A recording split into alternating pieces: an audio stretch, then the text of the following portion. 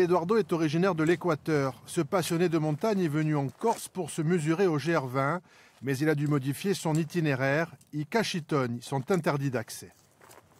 Il était courant pour, les infos, pour mon livre, qui s'était bien marqué avec une photo d'un panneau accès interdite. J'ai reçu aussi qu'il avait, des, avait des mortes il y a quelques années. Juin 2015, sept randonneurs trouvent la mort dans les Cachitones suite à un glissement de terrain. Depuis cette date, un arrêté préfectoral interdit le passage dans cette zone très escarpée. Une mauvaise nouvelle pour les affaires de cet établissement. 20 à 30% de la clientèle ne viennent plus. Et surtout, pendant 42 ans, on a vendu à Mythe, on a vendu Cirque de la Solitude. C'était le passage le plus important et le plus renommé du GR. Et du soir au lendemain, suite à un accident, un concours de circonstances malencontreux, on a fermé le, passage le plus renommé du, GR20. La grande des professionnels se fait entendre jusque dans le New Hall.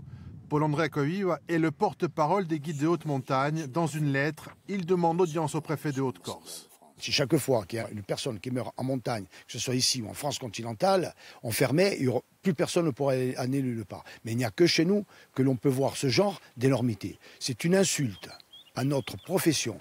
À cette heure, aucune rencontre n'est prévue en préfecture de Haute-Corse. Les guides annoncent qu'ils braveront l'interdiction de passage.